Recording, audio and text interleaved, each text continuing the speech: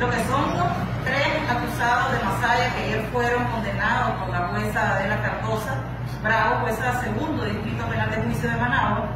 Este fallo de culpabilidad pues, no nos sorprende, porque desde que se estuvo evacuando la prueba en juicio, nosotros observamos que la actitud de la judicial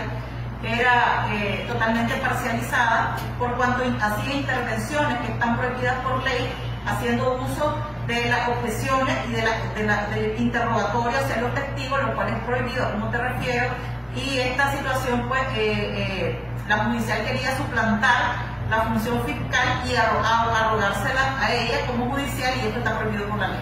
Nosotros vimos esa conducta de la, de la autoridad judicial y eso pues nos dio la pauta para nosotros saber que la intención siempre ha sido condenar a, los, a estos tres presos políticos, que es Uriel Pérez, José Santos Sánchez, José Ángel González.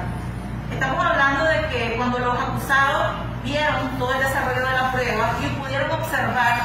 lo que todos observamos, porque todos observamos, la judicial está consciente de que estas personas son inocentes. La prueba que llegó a juicio no fue suficiente, fue contradictoria.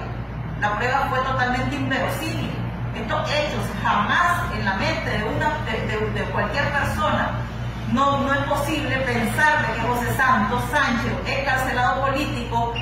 es un objetivo policial más allá. Esta persona que sufría asedios constantes de la Policía Nacional, quienes llegaban en patrullas a apostarse afuera de su vivienda, es imposible que esta persona eh, haya resguardado cantidades de droga para la comercialización en su propia vivienda.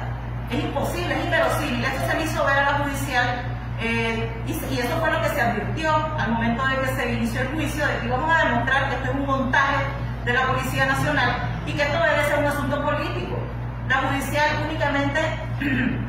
descartó toda la prueba de descargo, que en este caso, eh, como defensa de José Santos Sánchez, nosotros ofrecimos como prueba testimonial al, al, al asesor legal de CPDH, Pablo Cueva, y, y él llegó a decir a juicio de que José Santos, desde septiembre del año 2019, vino recibiendo asedios constantes casi a diario por parte de la policía.